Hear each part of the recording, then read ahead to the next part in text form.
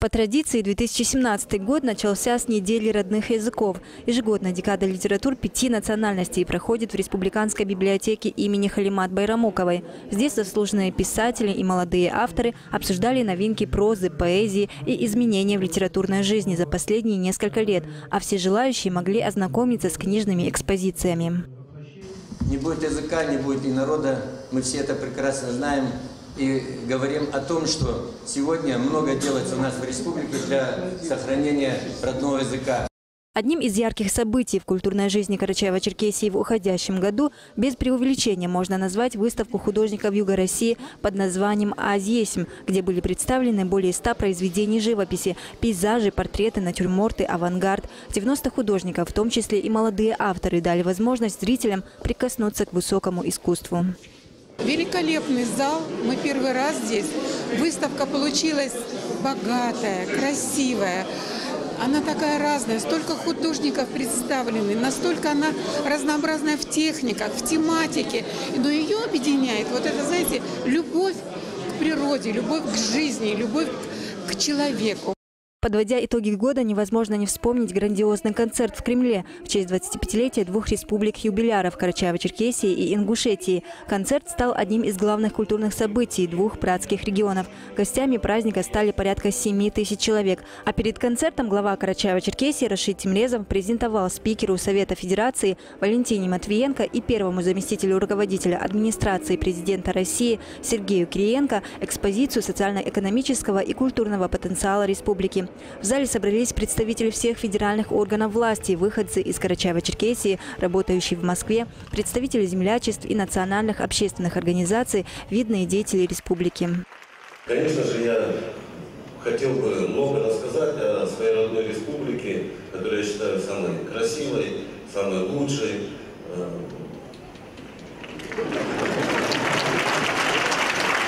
И э, хотел бы поблагодарить всех жителей нашей республики, которые сделали огромный, внесли огромный вклад в развитие и становление молодой Карачаево-Черкесской республики.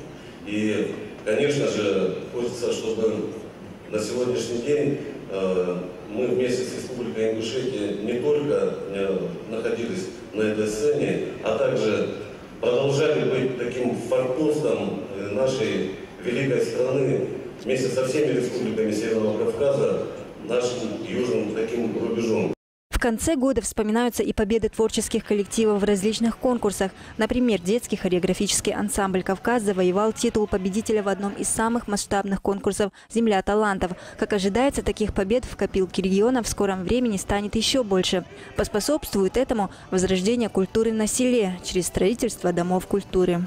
В 2017 году в Карачаево-Черкесии активно шли работы по реконструкции сразу 12 таких домов. Очаги культуры возводят и реконструируют благодаря реализации двух федеральных целевых программ – устойчивое развитие сельских территорий и развитие туризма и культуры в Российской Федерации. Контроль за ходом строительных работ самый строгий. Ход строительства Дома культуры в ауле Псыш посетила делегация, в числе которых был представитель Минкульта России Александр Москалев. Проект на самом деле достойный. Э, качество отделки и строительства следят, контролируют. И каждый, каждый рубль средств федерального бюджета направлены именно на то, чтобы поддержать республику. И каждая копеечка здесь освоена в полном объеме. Стать еще ближе к творчеству и искусству в этом году был шанс у многих жителей Карачаева-Черкесии. Республика присоединилась к всероссийской культурно-образовательной акции «Ночь искусств», объединившей живопись, музыку, поэзию, хореографию и театр. На протяжении двух дней во всех городах и районах республики собиралась вся творческая интеллигенция, а в библиотеке имени Халимат Байрамуковой собрались ценители искусства, поэты как любители, так и профессионалы, артисты и студенты. Мы постарались э, в это мероприятие вместить весь спектр вот этих э, событий, которые у нас в октябре, в ноябре. И фильм есть посвященный Октябрьской революции, и фильм посвященный Карачаево-Черкесии.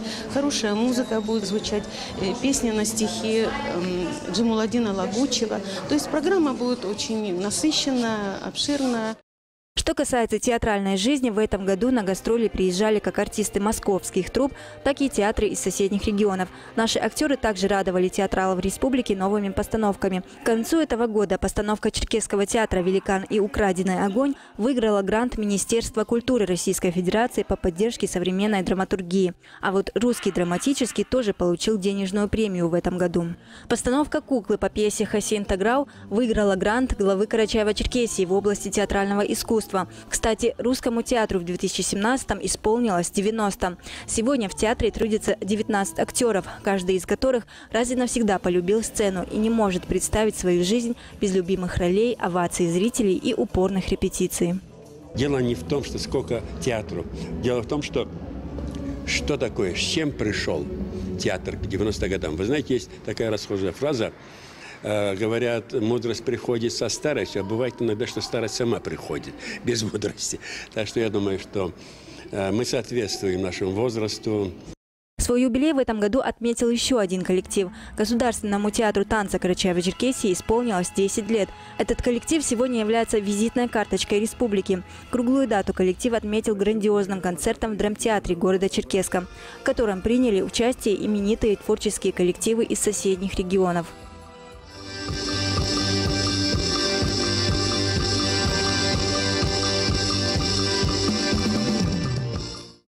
2017 год был наполнен массой культурных событий, которые, несомненно, надолго останутся в памяти жителей и гостей региона. И, конечно, в 2018 году республиканские театры, творческие коллективы и исполнители сделают все, чтобы вновь порадовать своего зрителя новыми постановками, песнями, танцами и выставками.